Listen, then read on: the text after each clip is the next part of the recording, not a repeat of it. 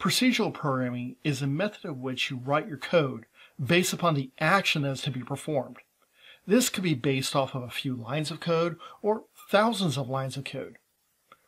Usually when code is of that size, it is broken up into various functions and even modules.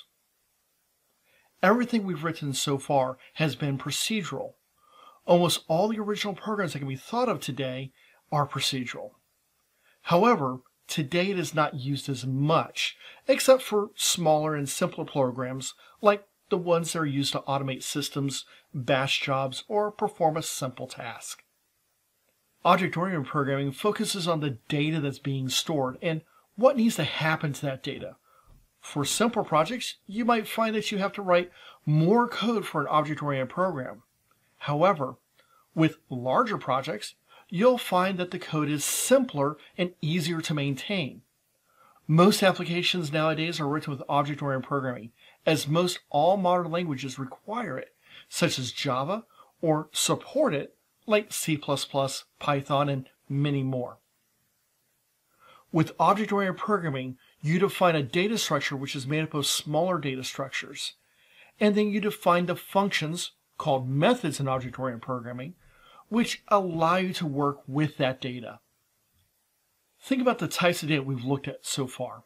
Simple things like numbers and strings, and then getting more complex things like list sets and dictionaries. However, those are all just collections of simple data types in many ways, like a list of numbers, for example.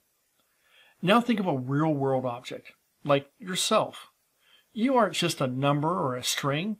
You have lots of different attributes that help describe and define you. These attributes might be simple data types like an age, which is be a number, a name, which could be a string, a, a student number, or college major, or many more.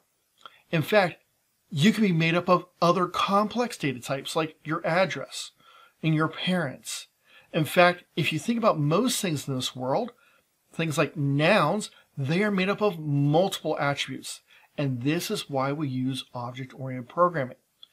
You can't describe a house, a car, a person, a school, or anything like that with just a single simple data type. So we build a class. And a class contains all of those attributes that we're going to need and store and then use.